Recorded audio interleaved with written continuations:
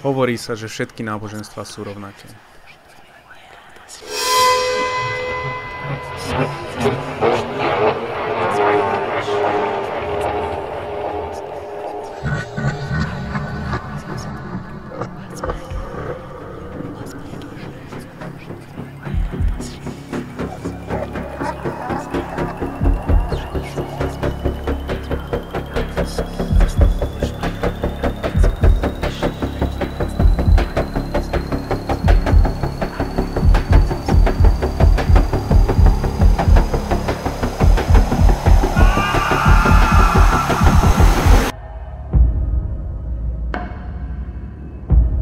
Podľa starých asteckých kňazov si boh Tzalok vyžadoval nepretržité ľudské obete.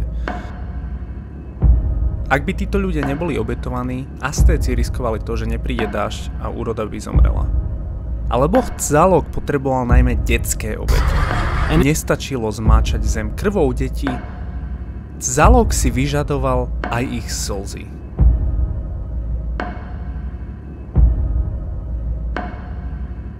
Ak deti, ktoré boli obetované, neplakali dostatočne, kňazi im počas obety začali vytrhávať zuby alebo nechty, aby zabezpečili maximálne výkriky bolesti pred ich rituálnym obetovaním. V hinduizme je opísaný posvetný rituál, ktorý je tak vulgárny, že ho hinduisti samotní odmietli preložiť. Neskorší západní akademici ako Wendy Doniger poskytli úplné preklady hinduistických posvetných véd, ktoré opisujú tento šokujúci rituál plodnosti nazývaný Ashvameda. Rituál začína tým, keď sa kôň udusí na smrť. Kráľ a jeho štyri kráľovné chodia okolo mŕtvého koňa a spievajú modlitby. Hlavná kráľovná zvolá O kôň, ty si ochrancom komunity na základe svojich dobrých vlastností. Ty si ochrancom šťastia. O kôň, stal si sa mojim manželom. Keď je modlitba dokončená, hlavná kráľovna si ľahne ku koňovi. Počas toho, ako ju kňazi pozorujú, vezme si genitálie mŕtvého koňa a vloží ich do svojich. Potom zarecituje posvetnú modlitbu. Tento kôň môže do mňa vypustiť semeno. Kráľ potom predniesie ďalšiu posvetnú modlitbu. O kôň, prosím vrhni semeno na hornú časť konečníka mojej manželky. Roztiahni svoj penis a vlož ho do vagíny. Podľa Harivam zapúraný hinduistický boh Indra nakoniec vstúpi do tela mŕtvého koňa, aby mal styk s kráľovnou zatiaľ čo to kráľ celé sleduje. Rituál je dokončený, keď kráľovna strávi celú noc s genitáliami mŕtvého koňa v sebe, čím sa zabezpečí plodnosť pre hinduistické kráľovstvo. V jednom prípade sa tiež uvádza, že matka Rámu sa zúčastnila tohto špeciálneho rituálu. Môžete si myslieť, že ide o okrajovú prax v hinduizme, ale mnohé posvetné hinduistické chrámy, ako napríklad chrám Kajuraho v Indii, zobrazujú tieto činy sodomie a beštiálnosti skupinového sexu na svojich posvetných stenách.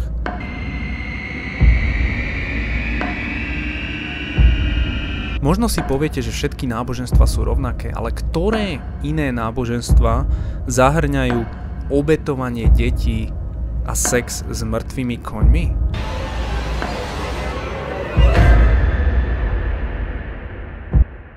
Toto sú šokujúce prípady, ale je tu ešte nejaký hĺbší level pravdy.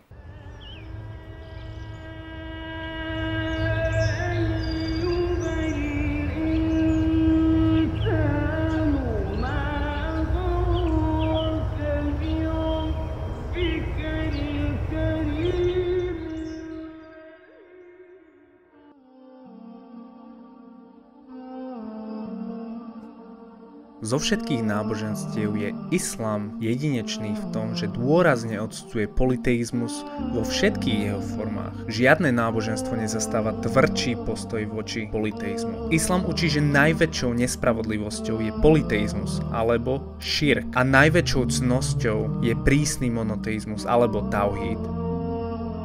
Možno sa pýtate, čo je také nespravodlivé na uctievaní viacerých bohov a čo je tak morálne dobré na striktnom uctievaní jedného boha? Žijeme vo svete, kde je politeizmus prikrašlený, ľudia si myslia, že jediný rozdiel medzi monoteistickým náboženstvom, akým je islam, a politeizmom je, že moslimovia majú mešitu, v ktorej nie sú modly, zatiaľ čo hinduisti, budhisti a pohania majú chrámy s farebnými sochami. Prečo sa tak rozčuľovať nad tým rozdielom? O čo ide? Ak veríte vo viacerých bohov oproti viere v jedného všemohúceho boha, to má obrovský vplyv na vašu psychológiu. Na rozdiel od politeistu, pravý monoteista, väčšinou moslim, uctieva iba jedného všemohúceho boha. Tento boh stvoril jeho a všetko ostatné, čo existuje. Tento jediný boh mu dal oči, ktorými vidí, uši, ktorými počuje, srdce, ktorému bije v hrudi a je jediným poskytovateľom doslova všetkého, čo má. Toto porozumenie vytvára veľmi špecifickú dynamiku medzi Bohom a veriacim. Je to vzťah založený na pocitoch intenzívnej lásky a hlbokej vďačnosti. Veriaci je v stave úplnej vďaky s vedomím, že čokoľvek je, čokoľvek má, čokoľvek kedy dosiahne, je od jedného jediného Boha. Keď ľudia akceptujú, že každé šťastie a radosť, ktorú prežívajú, pochádza od jedného milujúceho božstva, všetka ich vďaka sa sústredí na neho a na oplatku oni svoje uctievanie venujú výlučne nemu. To prirodzene vytvára krásny vzťah s Bohom, vzťah s ohromnou láskou, vďačnosťou, oddanosťou a poslušnosťou. Možno si myslíte, že takýto druh lásky je v každom náboženstve. Tento druh lásky nie je súčasťou každého náboženstva. Toto je zavádzanie vo vzťahu k politeizmu, pretože v politeizme nemá väčšina bohov žiadnu úlohu v živote človeka. Nie sú zodpovední za jedlo, ktoré jete, vzduch, ktorý dýchate, nie sú zodpovední za poriadok vo vesmíre. V politeizme je väčšina bohov lokalizovaných s obmedzenou mocou. Existuje boh pre more, iný boh pre oblohu alebo malý boh pre vašu konkrétnu rodinu. Toto sú slabí bohovia, ktorí vám nič neponúkajú. Božstva v politeizme sú také slabé, že sa často nedokážu ani nasítiť. Vyžadujú si obete vo forme jedla, alkoholu alebo krvi. Na to slúžia aj úlitby alebo po latinsky libatio. V mnohých prípadoch tradičný politeizmus zahrňa upokojenie duchovných bytostí a doslovných démonov. Napríklad morskí démoni si vyžadujú obetu, aby nezničili vašu loď. Teológii politeizmu nemáte z týchto bohov žiaden úžitok a jediný dôvod, prečo ich uctievate, je odohnať ich zlo. Ako by ste mohli milovať takýchto bohov alebo byť voči nim vďační? Môžete dokonca nenávidieť týchto bohov. Politeistické náboženstva majú túto prirodzenú škaredosť. Je to úplný opak monoteizmu.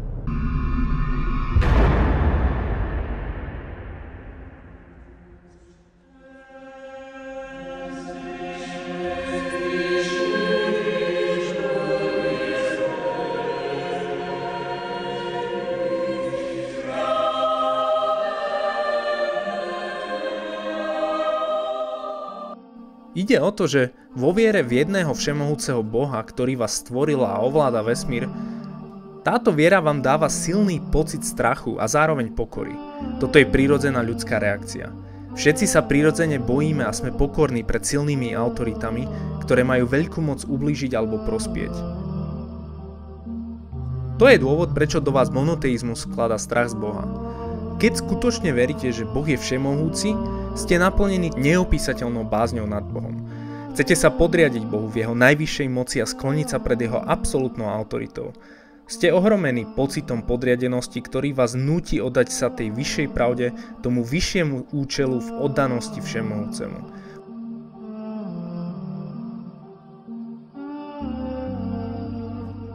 Opäť ide o emócie, ktoré v politeizme nemôžu existovať. Neexistuje žiadne ústredné božstvo, ktoré by malo všetku moc v politeizme. Sila je skôr rozdelená medzi mnohých bohov a mnohí bohovia sú takí slabí, že ich možno ovládať úplatkami a mágiou. Niektorí bohovia sú dokonca takí slabí, že sa im ľudia môžu dokonca vyhrážať. Napríklad, ak to pre mňa neurobiš, zničím tvoje chrámy – ako môže mať niekto pokoru pred takými slabúčkými bohmi? Táto politeistická teológia produkuje ľudí, ktorým chýba pokora, chýba im seba ovládanie. Ľudia, ktorí sa cítia slobodní, oddávajú sa každej neresti, neovládaní zdravým strachom z Božieho hnevu.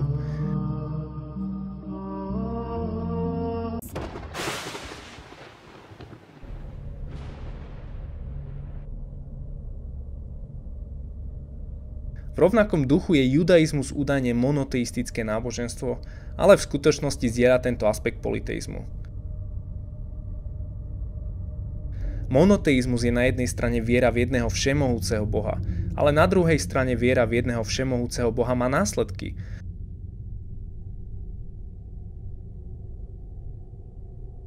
Ak skutočne veríte, že tento jediný Boh má všetku moc a poznanie, potom je to Boh, ktorému sa plne podriadujete. Nie je to Boh, s ktorým sa pokúšate hádať, alebo sa ho snažíte napadnúť, alebo dokonca prekabátiť. Ale presne toto robí judaizmus. Spôsob, ako Židia debatujú s Bohom a argumentujú proti Bohu, dokonca víťazia nad Bohom, vychádza z tradičnej židovskej doktríny Tóra nie je v nebi. Čo znamená, že rabi nemajú konečnú autoritu pri určovaní náboženských zákonov a ani sám Boh ich nemôže zrušiť. V talmudskom príbehy o peci z Aknaj Boh sám uvádza právne stanovisko tým, že zázračne hovorí so skupinou rabínov priamo z neba, ale rabíni nesúhlasia s Božím postojom a tvrdia, že Boh sa míli –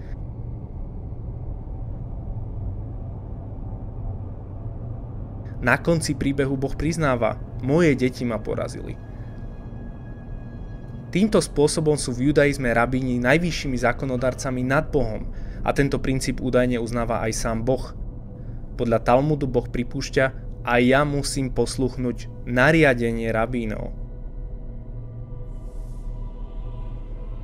Okrem strachu, lásky a vďačnosti, Monoteizmus vytvára skalopevnú vieru a istotu. Všetky deti intuitívne rozpoznajú, že vesmír má stvoriteľa.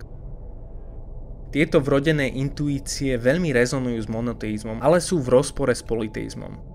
Ako uznávajú psychológovia, vďaka tomu je monoteizmus pre ľudskú myseľ intuitívne priťažlivejší. Tieto intuície sa používajú aj na racionálne ospravedlnenie viery v jedného boha, to je dôvod, prečo nájdete veľa filozofických dôkazov pre Boha, ale žiadne dôkazy o existencii Hanumana, boha opice,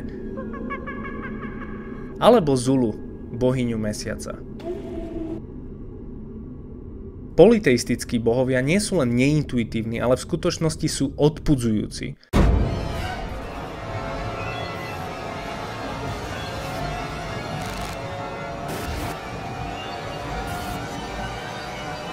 Napríklad podľa starovekého egyptského náboženstva bol ich panteón bohov vytvorený, keď boh Atum masturboval iných bohov zo svojho penisu. Politeistické mýty sú preplnené škaredými, bizarnými alebo metúcimi vecami, ktoré ničia istotu ľudí v bohoch. Problémom kresťanstva je, že sformulovali túto trojičnú koncepciu Boha, ktorá je pri najlepšom metúca. Aby toho nebolo málo, Biblia učí protichodné predstavy o Bohu. Jedna predstava o Bohu zobrazená v starom zákone prikazuje veriacim zabíjať ženy a deti a páchať genocídu.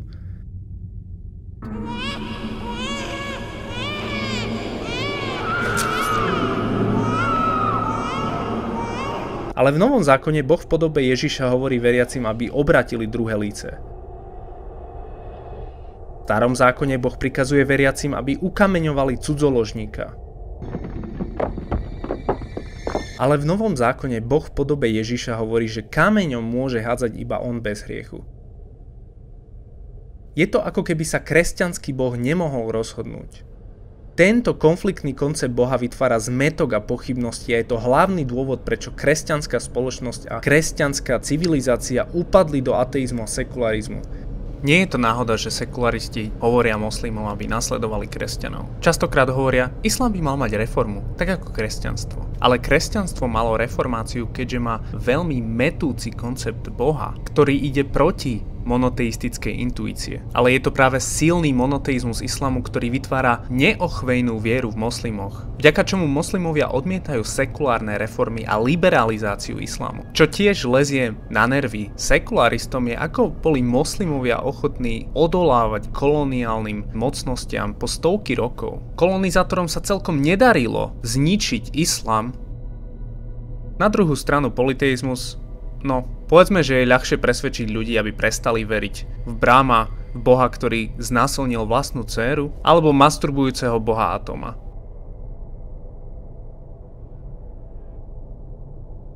Kolonizátori veľmi rýchlo vyhladili alebo zreformovali tisícky politeistických náboženstiev, ale neotrasiteľná viera moslimov je niečo, s čím nerátali.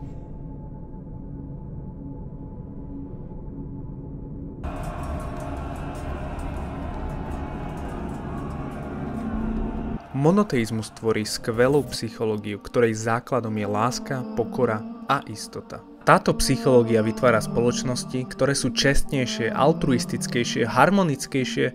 Toto sú fakty citované z nedávnych akademických kníh ako Big Gods od profesora Ara Norenzajana. Má to viacero dôvodov. Poprvé, monoteisti sú oveľa motivovanejší byť morálnymi, pretože sa boja Boha. Ak veríte, že všemohúci Boh vás môže kedykoľvek zasiahnuť bleskom, Udrží vás to vo vašom každodennom živote dosť úprimných. Ale tento druh strachu nenájdete v politeizme, ako sme už spomenuli.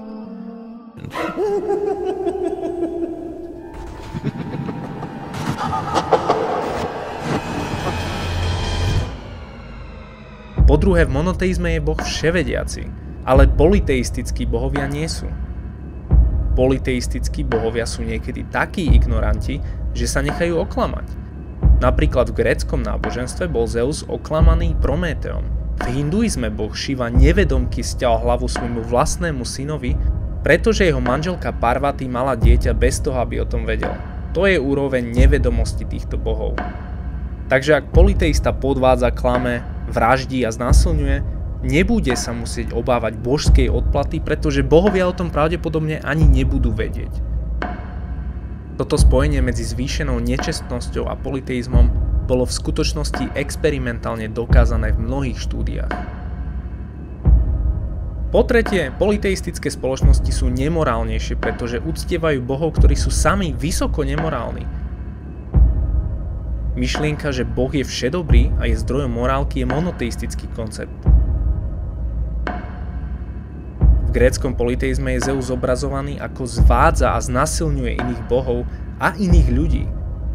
V hinduizme sú bohovia ako Indra, Krishna a mnohí ďalší zobrazovaní ako sérioví násilníci.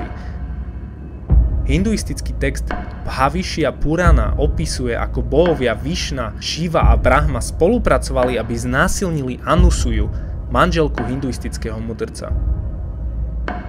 Hinduistický boh Kali je často zobrazovaný ako drží odrezanú hlavu, má na sebe náhrdelník s dekapitovanými hlavami a náušnice mŕtvého plodu dieťaťa.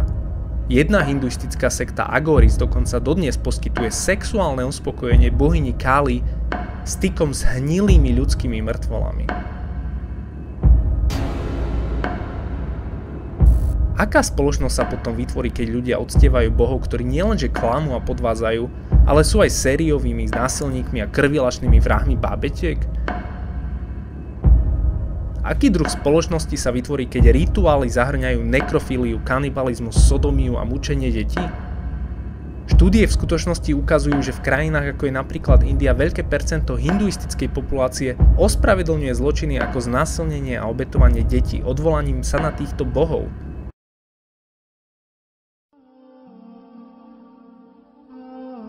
Teraz si to porovnajme s moslimskými spoločnosťami.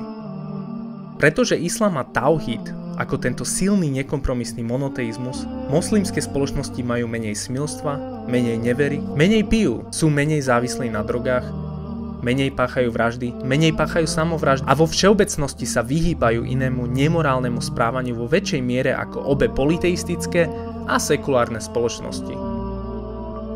Ale tam sa krása islamského monoteizmu nekončí pretože monoteizmus vytvára hlboké presvedčenie, výsledkom je silná náboženská identita. Politeistické spoločnosti majú skôr ako náboženskú identitu silné etnonacionalistické identity. Je to preto, že nemajú náboženské presvedčenie, ktoré je dostatočne silné a presvedčivé. Keďže sa nemôžu spoliehať na svoje presvedčenie, politeisti sa musia spoliehať na iné veci ako je rasa alebo kultúra. Ale v islame tauhid spája ľudí bez ohľadu na etnickú príslušnosť, rasu alebo kultúru. To je dôvod, prečo je islam touto revolučnou silou. Ako ukazuje história islamu, spojil všetky arabské kmene a od prvého dňa integroval mnoho iných rás do jednej moslimskej spoločnosti.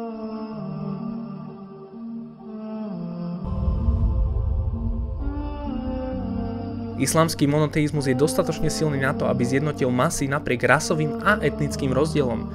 To je dôvod, prečo bol islám od začiatku rasovo najrozmanitejším náboženstvom.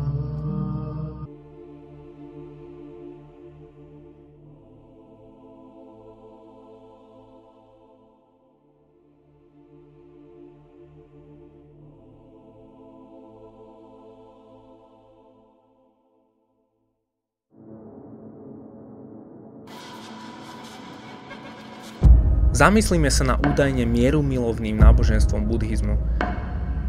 Barmskí buddhisti prenasledujú Rohingov na základe rasovej identity. Sinhalskí buddhisti prenasledujú Tamilov na základe etnickej identity. Japonskí buddhisti ospravedlňovali japonský imperializmus založený na etnonacionalistickej identite. Žiaden z týchto konfliktov sám o sebe nie je náboženský, ale je to preto, že prenasledovanie má etnonacionalistický charakter. A nie sú to len buddhisti, ktorí sa musia uchyliť k nízkemu rasizmu a etnonacionalizmu. Všetky tieto náboženské skupiny dávajú prednosť rase a diskriminujú na základe rasy. To nie je náhoda. Je to vedľajší produkt slabého presvedčenia, ktoré vytvára politeizmus. Skutočnosť, že tieto politeistické náboženstva to nepripúšťajú a predstierajú, že im ide o mier a toleranciu, zatiaľ čo kritizujú islám je veľmi nečestná.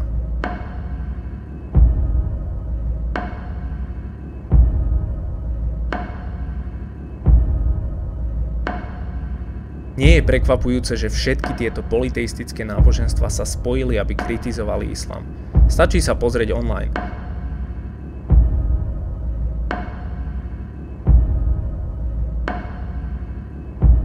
Všetci kritizujú islám.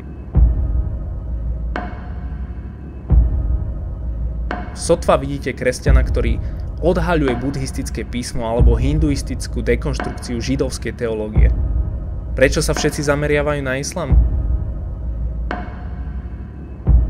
Výstižné je, že tieto náboženstva nekritizujú islám na základe svojich vlastných tradičných doktrín, ich hlavnou kritikou je skôr to, že islám nie je dostatočne liberálny a moderný.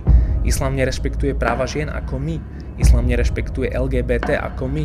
Islám nie je taký tolerant a nemilujúci slobodu ako my.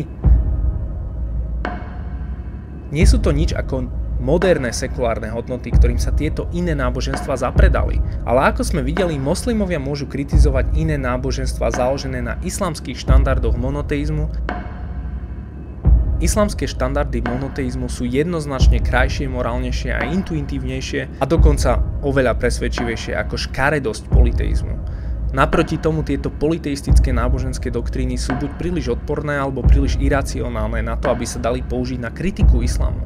Hlbké duše vedia, že ich náboženstva sú už zapredané, ale moslimovia nie a to ich vnútri spaľuje.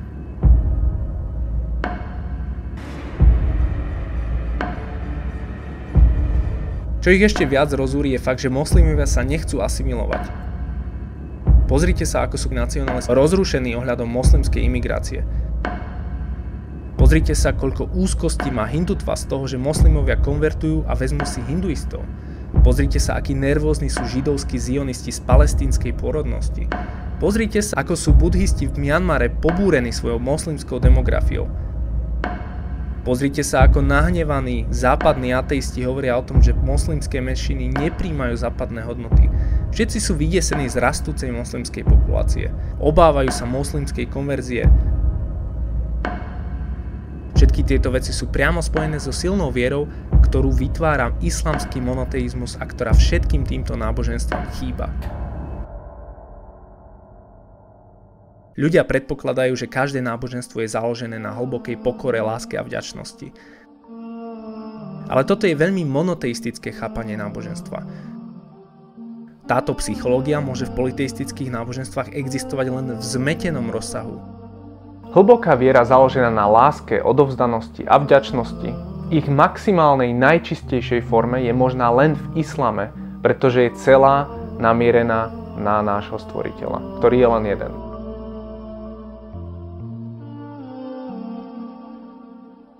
Aký dôvod máme potom stať sa nasledovníkom jedného z týchto náboženstiev? Praktické hodnoty týchto náboženstiev sú takmer identické so sekularizmom.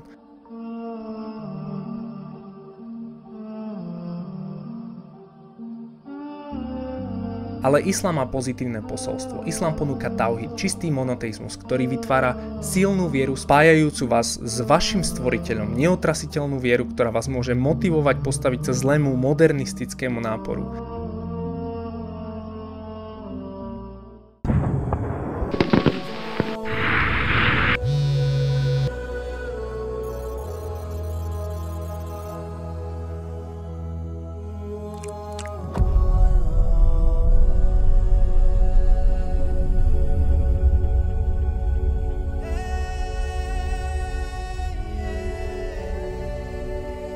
Toto sú hodnoty islamu a tieto hodnoty by mali riadiť ľudský život.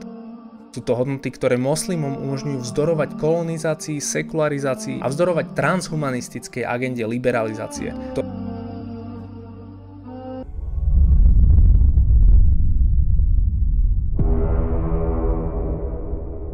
Islám stojí sám a to je všetko kvôli jednej viere. Neexistuje žiaden boh okrem Aláha.